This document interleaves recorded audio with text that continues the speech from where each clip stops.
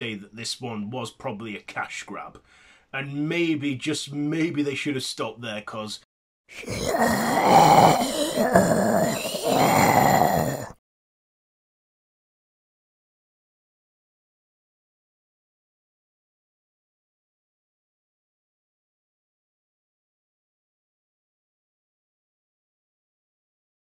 Why, hello there YouTube and welcome back to Zombie Weekend where we're on day 12 and it is the last day of part 3 of Zombie Weekend.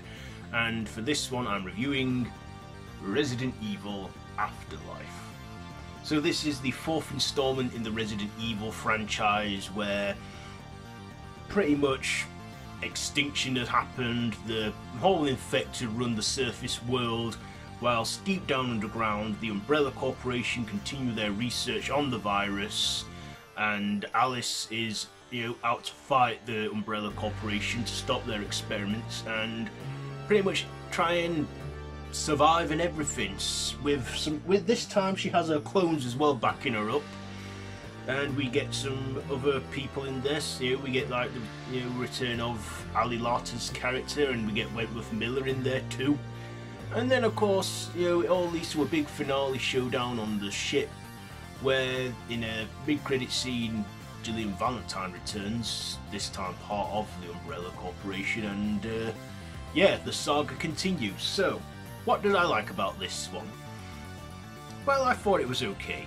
It had some alright action moments in there, some good visual effects.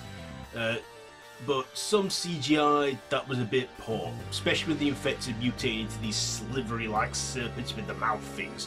What was all that about? We get still get mutated zombie dogs as well in this one, and you know, just fighting and stuff, and you know, like I say, survival action. But if I'm being honest, this is the point where me, to me, the franchise started to lack in quality and started to turn into a cash cow. And I will say that this one was probably a cash grab.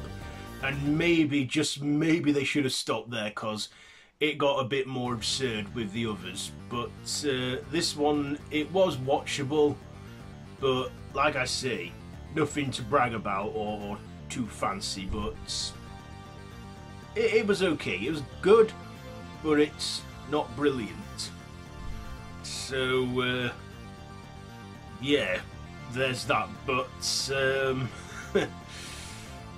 what can I say about this one? Just not a lot of great stuff. It's just quite poor, and for me, one of the least favourites. To me, yeah, when when this one came out, I went to cinemas to see it. But when the next instalments came out, I were in no hurry to see them in cinemas. I was quite happy to wait for them ones to come out, you know, for home media.